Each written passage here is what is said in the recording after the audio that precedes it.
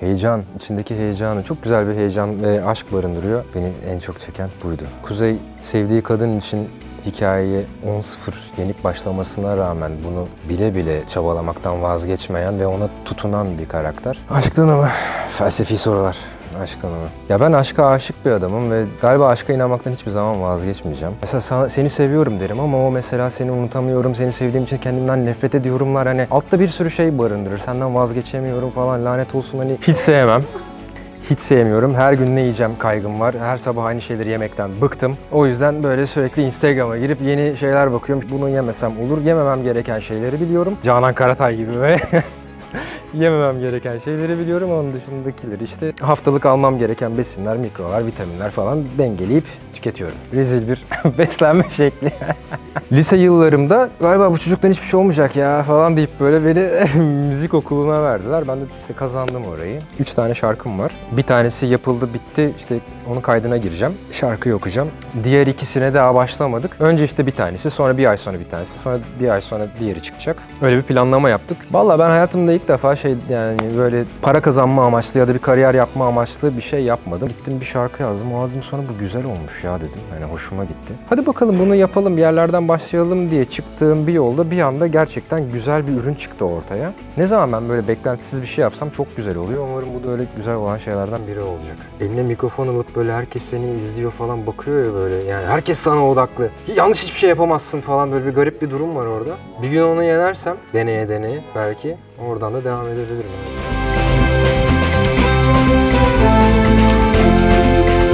Vallahi ben Aralık'ta Allah nasip ederse 30 yaşına gireceğim. O yüzden kendimden yaşça küçük karakterleri oynayabildiğim bir dönemde kendimi çok iyi hissediyorum öncelikle. Ya bu bir gençlik aşkı yani gençlik işi. O yüzden güzel hissettim. Heyecan, içindeki heyecanı çok güzel bir heyecan ve aşk barındırıyor. Beni en çok çeken buydu. Derya'yı tanıyordum bir tek. Onun dışındaki herkesle e, sette tanıştım. Çok güzel bir ekip, çok güçlü bir kadro. Yani böyle bir filmle dahil olmak tabii benim için ayrıca güzel bir şey. Bu aynı zamanda zaten milyonlara hitap eden, eden yani ulaşmış bir serinin ilk filminin devam filmi. O yüzden ikincisinde dahil olmak ayrıca güzel oldu benim için. Kuzey karakterini oynuyorum ben. Kuzey sevdiği kadın için hikayeye 10-0 yenik başlamasına rağmen bunu bile bile çabalamaktan vazgeçmeyen ve ona tutunan bir karakter. Bence hepimize ders olması gereken ve çabanın ne demek olduğunu hatırlatan bir adam. O yüzden benim için çok değerli.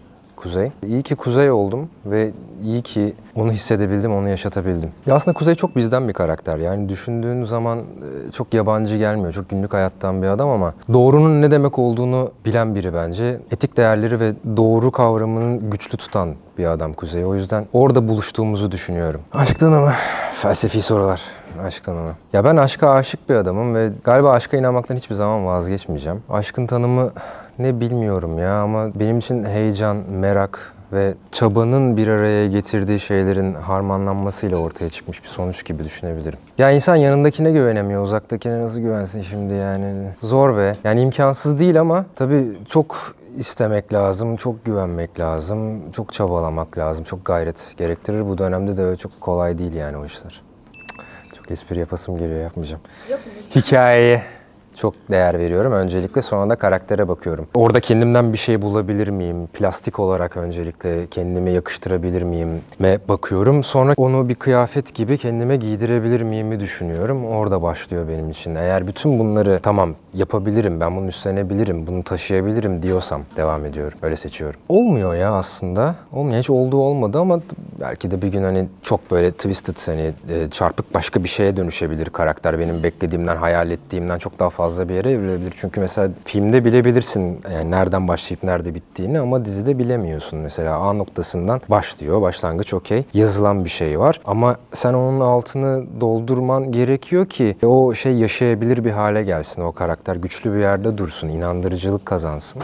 Ben onu yapmayı seven oyunculardanım. O yüzden benim için altta sürekli bir şey gezer. Mesela sana- seni seviyorum derim ama o mesela seni unutamıyorum, seni sevdiğim için kendimden nefret ediyorumlar. Hani altta bir sürü şey barındırır. Senden vazgeçemiyorum falan lanet olsun. Hani ben, ben kendine döner, kendi dünyasında çarpışır. Ama ben bütün bunları düşünürken bu bir B noktasıysa senarist gider de dördüncü bölümde bir C yazarsa oraya evet orada artık yeni gerekçeler, yeni sebepler onları artık değiştirmem gerekir. O biraz zorlar. Tabii olur aynen. Her zaman var Yani o da işte belirli şeylerden mesela bir çok mesela basit bir örnek vereceğim. Bir karakter e, bilgisayar başında mesela 12 saat yani mesela IT diyelim eleman 12 saat vakit geçiriyorsa onu postürüne yansır. İşte bacakları da ağrı oluşur. İşte fitness antrenörlüğü. Rectus femoris kasları mesela çok gergin olur. O da mesela postürüne yansır. Hafif kambur duruyor olur. Mesela postürüne yansıtırım, onu kullanırım. O benim mesela kendi işte karakteri üzerinde değerlendirdiğim bir şey olur.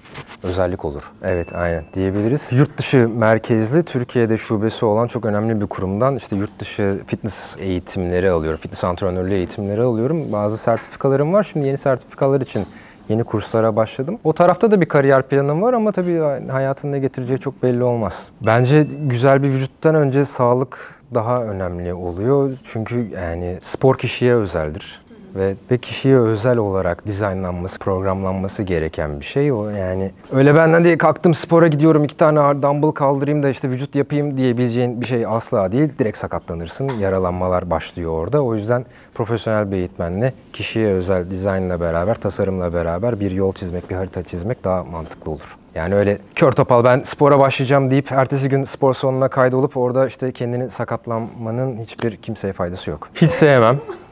Hiç sevmiyorum. Her gün ne yiyeceğim kaygım var. Her sabah aynı şeyleri yemekten bıktım. O yüzden böyle sürekli Instagram'a girip yeni şeyler bakıyorum. İşte bugün ne yapsak falan diye makro ayarlamaları, kalori hesaplamaları. Bunu yemesem olur. Yememem gereken şeyleri biliyorum. Canan Karatay gibi böyle. Yememem gereken şeyleri biliyorum. Onun dışındakileri işte haftalık almam gereken besinler, mikrolar, vitaminler falan dengeleyip tüketiyorum. Evet, aynen.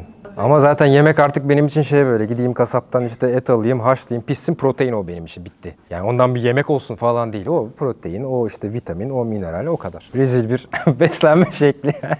Aileden tabii etkileniyor insan. Yani Türk sanat müziğiyle doğdum, büyüdüm gibi bir şey oldu. Ben annem de babam da TRT'de ses sanatçısı. Babam emekli, İzmir Radyosu'ndan emekli. Annem e, İstanbul Radyosu'nda şu an Türk sanat müziğisi e, solisti. Lise yıllarımda galiba bu çocuktan hiçbir şey olmayacak ya falan deyip böyle beni müzik okuluna verdiler. Ben de işte kazandım orayı. Yetenek sınavlarına girdim, kazandım. Müzik okudum 4 sene. Sonra dedim ki yok ya ben galiba Batı müziğini çok sevemedim. Verdikleri eğitim Batı müziği üzerindendi. Dedim ki yok ya ben işte Mozart'lar, Chopin'ler falan filan biraz ruhum daraldı. Çok güzel. Klasik müzik çok severim ama profesyonel olarak yapmak istemedim o işi. Ana enstrümanım gitardı. Gitar çalmayı çok sevdim ama piyano çalmayı sevemedim mesela. Yani hoşuma gitmedi. Belki de işte gitar çalmak için çok tırnak uzatmak gerekiyordu.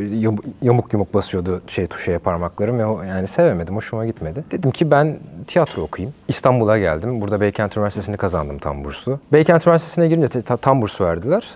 An başka bir üniversiteye girmedim. Herhangi başka bir sınava katılmadım. Tamam dedim ben burada okuyayım. İşte o özel üniversite tam bursluyum zaten. Güzel bir e, üniversite hayatım olacak gibi düşünüp girdim. Olmadı. Yani Yani güzel güzel bir üniversite ama benim öyle bir öğrencilik hayatım olmadı. Olmadı evet. Ama olsundu. Yani güzel güzel eğitimler, çok güzel hocalarla öğretmenlerim çok iyiydi. Çok güzel bir eğitim aldım. Albüm değil de böyle single single.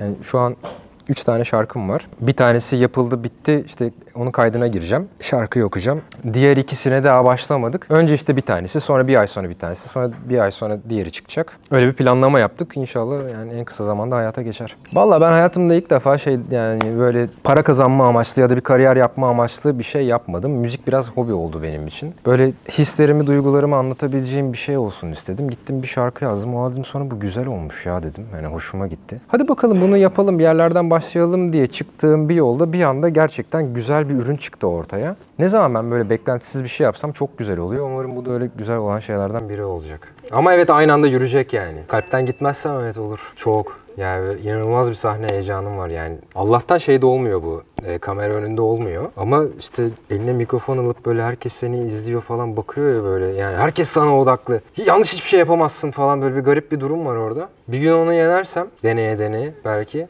oradan da devam edebilirim evet. Yapabilirim yani. Diziler.com'dan gelen sorularınızı yanıtladım. Beğenilerinizi ve yorumlarınızı bekliyoruz.